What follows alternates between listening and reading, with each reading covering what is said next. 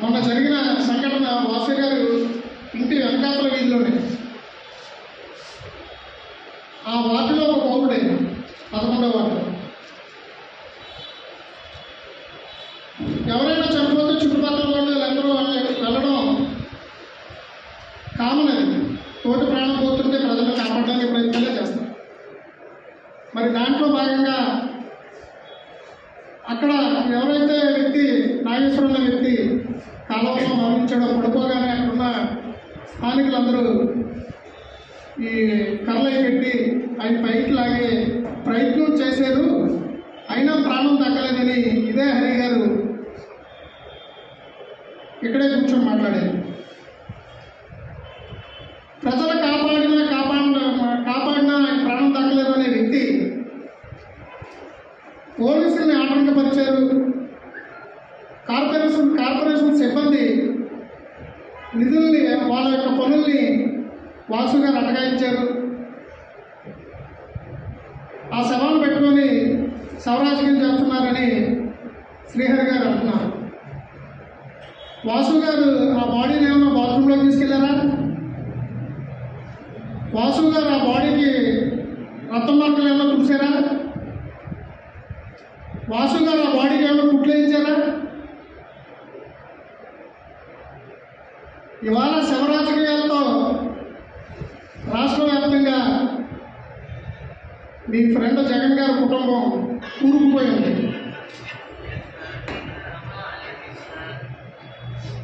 మీరు ఆ షాకుల్లో వచ్చి ఇంకా బయటకు రాకుండా బహుశా మీరు ఫ్రెండ్ కనుక వైఎస్ఆర్ పార్టీ నాయకులైతే వేరే రకంగా మాట్లాడదు మీరు. జగన్ గారు ఫ్రెండ్ కనుక మీరు ఆ థాట్లో వచ్చి ఇంకా బయటకు రాలేదు. మరి ఎవరి శవం దగ్గరికి వెళ్ళి చేయలేం. కనీస ధర్మం ఆ ప్రాంతంలో ఉన్న వైఎస్ఆర్ పార్టీ నాయకులు కూడా ఆ ఆ అర్ధరాత్రి గడ బాడీ దగ్గరికి కానీ వాళ్ళ ఇంటికి వెళ్ళి పరామర్శించడం కానీ వాళ్ళ కార్యకర్తలు ఎవరు వచ్చి అక్కడ సహకార సహాయ సహకారం చేయడం కానీ ఏమీ లేదు మీరు మీడియాకి చెప్పారు అంతే అక్కడ చేసిందంతా అక్కడ స్థానికులు అక్కడ ఇన్ఫర్మేషన్ ఇచ్చింది స్థానికులు వాసు గారికి అలాగా పోలీసు వారిని పెట్టి కొన్ని రాత్రి ఆ సవరాజకీయం చేశారనుకుంటే ఉదయం పడుకున్నాడు ఆయన మాసు గారు. తెల్లవారుజామున ఐదున్నరకు ఆరు గంటలకు సుమారు ప్రాంతంలో ఓ నాలుగైదు జీపుల్లో వచ్చి వాసు గారు రాజానగరం పోలీస్ స్టేషన్ తీసుకెళ్ళవలసిన అవసరం ఏముందండి ఇందులో అంటే చనిపోతే చనిపోయిన వ్యక్తిని కూడా మేము ఆ వ్యక్తి కూడా అంత్యక్రియలు కూడా వెళ్ళే భాగ్యం మాకు లేదా అంటే ఏం చేయాలన్నా మీరే చెయ్యాలా మీరేమి చేయకుండానే చేస్తున్నామనే భాగంలో ఉంటూ మాట్లాడుతున్నారు అలాగే రాజమండ్రిని ఏమి అభివృద్ధి చేశారు మీరు? మూడు సార్లు మేయర్గా ఉన్నారు. నాలుగైదు సార్లు ఎమ్మెల్యేలుగా ఉన్నారు. అని చెప్తున్న మీకు అసలు రాజమండ్రి అభివృద్ధి తెలుగుదేశం పార్టీతోనే తెలుగుదేశం పార్టీ హయాంలోనే స్టార్ట్ అయిందని మీరు మీ పెద్దలను అడగండి. మీ పెద్దనాన్న గారిని మీ చిన్నాన్న గారిని అడిగితే చక్కగా చెప్తారు. ఎందుకంటే అభివృద్ధి రాజమండ్రి అభివృద్ధి చెందుతున్న టైంలో మీరు గుడుగుడు అడుగులేస్తున్నారు. రాజకీయంలో కూడా మీరు వైఎస్ఆర్ పార్టీలో మీరు ఇంకా అంత సీనియర్ నాయకులు కాలేదు. మీ సీనియర్ తెలియదు నా వైఎస్ఆర్ పార్టీ నాయకుల్ని కూడా మీరు అడిగితే అభివృద్ధి గురించి వైసీపీ పాటుపడుతుందన్న విషయం ఆయన వ్యక్తం చేశారు. అభివృద్ధి వారవలేక ఆదిరెడ్డి వాసు గారు ఏదో మాట మాట్లాడతారు. ఎవరో ఒకరిని పాయింట్అవుట్ చేసి వాళ్ళని డిగ్రేడ్ చేయడానికి మాట్లాడతారని చెప్పారు కానీ అభివృద్ధి అంటే తెలుగుదేశం. తెలుగుదేశం టైంలో అభివృద్ధి ఏంటన్నది ఇది తెలియకపోవచ్చు. తెలుగుదేశం టైంలోనూ మన ఆయన చెప్పారు మనం చిన్నప్పుడు ఏదో చూశారట అది చాలా బాధాకరమైన విషయాలని కూడా ఇప్పుడు ఎంపీ భరతరామ్ గారు బ్రహ్మాండంగా తయారు చేసి ఆయన ఆనందపరిచారు. మా చిన్నప్పుడు కూడా సందార్థ సత్రం city municipal high school Godavari గట్టు చాలా అధ్వానంగా ఉంది. అలాగే చివర ఇస్కాన్ టెంపుల్ దగ్గర ఆ గోదావరి గడ్డి దగ్గర పల్లీలు కానీ లేకపోతే ఈ గేదెల్ని మేపుకుని కార్మికులు కానీ వీళ్ళందరూ కూడా పాకలు ఉంటే ప్రతిసారి గోదావరి వచ్చినప్పుడు అవన్నీ కూడా పోవడం వాళ్ళకి నిరాశ రావడం ఇవన్నీ కూడా మా కళ్ళ కట్టినట్టు మా చిన్నప్పుడు తెలుసు. సిటీ మున్సిపల్ స్కూల్లో మేము చదువుకున్నప్పుడు ఇలా గోదావరి ఉంది ఇదంతా సెలవు వంకాయలు ఇదంతా మునిగిపోయి పరిస్థితి. అదన్నీ కూడా తెలుగుదేశం హయాంలో పుష్కరాలయంలో అవన్నీ కూడా డెవలప్మెంట్ చేసి సుందరవంతంగా గోదావరి గడ్డ తయారు చేసి ఇష్కాన్ టెంపుల్ అలాగే మన అయ్యప్ప స్వామి టెంపుల్ శ్మశాన వాటిక ఇవన్నీ కూడా చేయడం జరిగింది. దాంట్లో పట్టపల్లి అంతా కృషి చేశారు. ఇవాళ ఆయన కూడా అక్కడ ఏదో టెంపుల్ కట్టారు. ఇవన్నీ కూడా తెలుగుదేశం హయాంలో డెవలప్ అయ్యాయంటే మీకు తెలీదా? సందాసత్వం కూడా బ్రహ్మాండంగా తయారు చేసిన తెలుగుదేశం హయాంలోనే అలాగే మార్కెండర్సన్ టెంపుల్ కూడా బ్రహ్మాండంగా తయారు చేసింది కూడా తెలుగుదేశం హయాంలోనే. ఇవన్నీ కూడా మీకు ఏమీ కనబట్టలేదా అని అడుగుతున్నాం. అలాగే మురళీమోహన్ గారు ఈ ఎంపీ గారు ఏదో మోరకుడి దైవాలు తీసుకొచ్చినట్టు ఈయనే శంకుస్థాపన చేసినట్టు వాళ్ళు చెప్పుకుంటున్నారు. అవన్నీ కూడా గతంలో మురళీమోహన్ గారు నేను ఆయన శిష్యుడిగా చాలాలు ఒక ఎనిమిది సంవత్సరాలు ఆయన కూడా తరగతి పేపర్ స్టేట్మెంట్లు మీ మీ మీడియా సంబంధించిన వీడియోలు అన్నీ కూడా క్లిప్పింగ్స్ అన్నీ కూడా ఢిల్లీ పట్టుకెళ్ళి అవన్నీ కూడా ఆయన ఎక్స్ప్లెయిన్ చేసి అప్పుడున్న మినిస్టర్ గారిని కన్విన్స్ చేసి ఇవన్నీ కూడా ఫ్లేవర్ ఐదు ఫ్లేవర్లకి ఆయన ప్ర- ప్రయత్నిస్తే ఇంపార్టెంట్ మోరపూడి ఫ్లేవర్ ఒకటి ఇవ్వడం జరిగింది ఆయన శంకుస్థాపన కూడా చేయడం కూడా జరిగింది.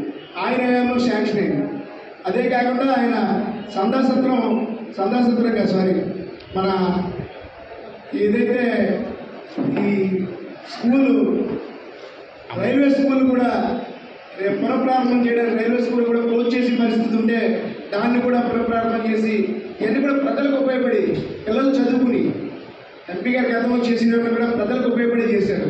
అలాగే గవర్నమెంట్ హాస్పిటల్లో కూడా మనకి బ్లడ్ బ్యాంకులు పెట్టించారు. ఆయన బండింగ్లోనే రెండు కోట్లు పెట్టి ఈ క్యాన్సర్ సంబంధించిన వాళ్ళు హైదరాబాద్ చెన్నై వెళ్ళి ఆ టెస్టులు చేయించుకుంటారు కానీ ఇక గద్దీ ఖచ్చితంగా పరిస్థితుల్లో రాజమండ్రికి ఒక బస్సు తయారు చేయించి రెండు కోట్లు ఆయన ఫండింగ్లో ఇచ్చి ఆయన క్యాన్సర్ బస్సు కూడా ఏర్పాటు చేయడం జరిగింది.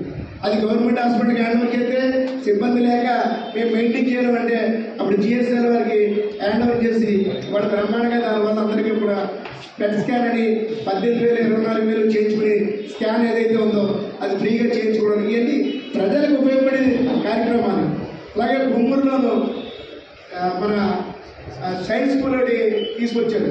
దానికి గంటా శ్రీనివాస్ గారు మా పార్టీ అయినా కూడా వైజాగ్లో పెట్టడానికి చూస్తే దాన్ని మన సుజనా చౌదరి గారి తోటి వాళ్ళతో మాట్లాడి ఇక్కడికి తీసుకురావడానికి విశ్వ ప్రయత్నం చేసి వాళ్ళందరితో కూడా కన్వెన్స్ చేసి గొడవపడి మన భూముడికి తీసుకొచ్చారు.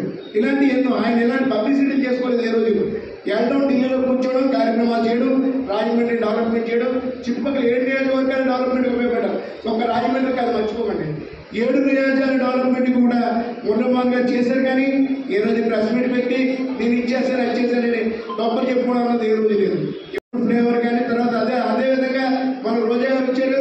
రోజా గారితో స్టేడియంలోనూ అక్కడక్కడ శిల్పస్థాపన చేశారు. ఏమైంది? ఏం మొదలైంది? నూట ఇరవై కోట్లు అన్నారు. పంతొమ్మిది కోట్లు ఇరవై కోట్లు ఖర్చు పెట్టారు. ఇంకా వంద కోట్లు ఖర్చు పెట్టాల్సిన పరిస్థితి లేదు.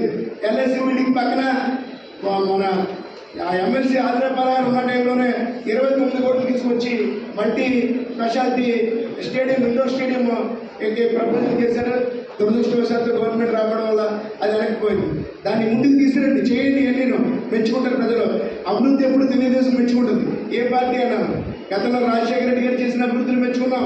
అంతకుముందే అమ్మే మినిస్ట్రీ చేసుకున్నా మెచ్చుకున్నాం. అభివృద్ధి మెచ్చుకోవడం లేదు. అభివృద్ధి ఏం జరగట్లేదో? అది చేయమని మేము పోరాడుతున్నాం తప్ప వాసు గారు మేము అభివృద్ధి పడ్డాయి చూసి మేము కుళ్ళిపోయే పరిస్థితి అయితే లేదు. అభివృద్ధి అంటే మీరు ఏదో వెళ్ళని లేకపోతే డివైడర్ అంటించడం డివైడర్ చేయడం కాదు. మన మెయిన్ రోడ్ పరిస్థితి దుస్థితి ఎలా బండి వెళ్ళడానికి ఉండదు అక్కడ? అక్కడ సెంట్రల్ లైట్ ఒక కారు వెళ్ళడానికి లేదు అంబులెన్స్ వెళ్ళడానికి ఉండదు. దానికి ఒక అగ్నిమగంగానే అర్జెంట్ అయితే వెళ్ళడానికి లేదు. దానికి మళ్ళీ సెంటర్ లైన్ పెట్టి ఆ సెంటర్లో పార్కింగ్ ఆడ ఉద్యోగం చేసుకున్న వాళ్ళు అన్నీ కూడా పెట్టుకోవడం లేకుండా చేస్తారు ఇది కాదు డెవలప్మెంట్ అంటే. మళ్ళీ తీసుకురండి ప్రజలకు ఉపయోగపడి చేయండి. ప్రజలకు ఉపయోగపడే అన్నీ కూడా మీ గతంలోనే మా ప్రభుత్వంలోనే మేయర్ మూడు సార్లు చేసినప్పుడే యాభై వాటికి డ్రైన్లు రోడ్లు తర్వాత వాటర్ ఫెసిలిటీ అన్నీ కల్పించాం. ఇవాళ ఏ వాటిలో కూడా మీరు చేసింది లేదు. ఇవన్నీ దృష్టిలో పెట్టుకోండి. గత ఏడుగూడ నాగేశ్వరరావు గురించి నిన్న ఆయన చెప్పారు అనప గారు అన్ని మరి అబద్ధాల నిజాలు ఆయనకే తెలియాలి. ఏడు ఎనిమిదిన్నరగా చెప్పారు. ఏడు ఇరవైగా నిశ్చయం జరిగింది. ఏడు ఇరవైకి ఇద్దరు వ్యక్తులు చూసి ఆదిరెడ్డి వాసు గారు ఫోన్ చేయడం జరిగింది. వెంటనే ఆదిరెడ్డి వాసు గారు తమ సిబ్బందికి కార్పొరేషన్ వారికి అలాగే పోలీసు వారికి ఆయనే ఇంటిమేట్ చేశారు. చేసి తర్వాత చేసిన తర్వాత ఆయన మా అందరికీ ఫోన్ చేస్తే ముందు నేను వెళ్ళాను. రాజేంద్ర గారు ఆయన ఇన్ఛార్జ్ అప్పటికి పాండరంగ వాళ్ళు వచ్చి ఈ జేసీబీ తీసుకొచ్చి ట్రై చేస్తారు. అది చూడటానికి దాని సంఘటన ఏంటి ఆ మనిషి ఏమైపోయినది పరిశీలించడానికి వచ్చిన ఆధునిక వాసిగారిని అరెస్ట్ చేసి మేమేదో తప్పు చేసినట్టు దేనికి దానికి అరెస్ట్ చేయాల్సిన పని మీరైనా మేమైనా ఎవరికైనా ఉపయోగపడాలి. ఉపయోగపడిన వాళ్ళకి ఉపయోగపడినకంటే మీరు అడ్డు చెప్పి అరెస్ట్ చేసి తీసుకెళ్ళిపోయి మనసులో మీరు ఏదో చేసేస్తామని అక్కడ వన్ ఫార్టీ ఫోర్ సెక్షన్ పెట్టేసి ఉదయం ఆరు గంటలకే వాసు గారిని తీసుకొచ్చి ఎక్కడో బొమ్మూరు ఏం మానవం చేశాడా మర్డర్ చేశాడు ఆయన బొమ్మూరు తీసుకెళ్ళి అరెస్ట్ చేయడం. ఇవన్నీ చాలా దారుణమైన వ్యవహారాలు. ఇవన్నీ మానుకోవాలి రాజనాడు మానుకోవాలి. అలాగే మురళీమోహన్ గారి గ్రంథాలయాన్ని కూడా డెబ్బై ఐదు లక్షలు ఇచ్చి గ్రంథాలయాన్ని బాగు చేశారు. ఇవన్నీ కూడా ఇవన్నీ మీకు తెలుసుకొని ప్రజలకు ఏం కావాలో చేయండి. మిమ్మల్ని ప్రజలు మేము కూడా మెచ్చుకునేలా చేయండి. అది మా కోరిక. అంతేగాని అవగాహన లేకుండా ఏదో జగన్మోహన్ రెడ్డి గారి స్నేహితుడిగా మేము ప్రెసిడెంట్ అప్పగితే అసలు తలా తోక తెలియకుండా రాజకీయం అనుకూలం లేకుండా వైసీపీ పార్టీలో ఎంతమందో సీనియర్ నాయకులు ఉండడుగా కూడా ఈ ఇలా మీకు అది చెప్తే మీరు ఏదో అవగాహన లేని మాట మాట్లాడటం వాసు గారు విమర్శించే స్థాయి మీద కాదని మీరు తెలియపరచండి